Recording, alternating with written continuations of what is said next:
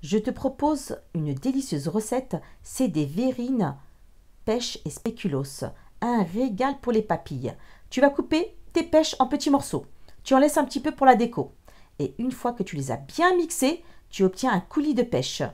Tu prends tes spéculoos, tu vas bien les mixer et tu obtiens de la poudre de spéculoos. Tu vas prendre ton saladier. Tu vas verser deux briques de crème liquide entière, 30% de matière grasse, 250 g de mascarpone, 3 cuillères à soupe de sucre glace, de l'arôme vanille. Tu prends ton batteur électrique et tu vas bien fouetter jusqu'à que ça monte en chantilly. Et tu obtiens une crème mascarpone, un régal. Tu passes au montage. Tu vas mettre au fond de ton verre la poudre de spéculoos. Tu ajoutes du sirop de pêche. Et là, tu vas ajouter ta crème mascarpone. C'est vraiment simple, hein. c'est super facile à faire. Tu ajoutes ton coulis de pêche. Et là, tu vas ajouter la poudre de spéculoos.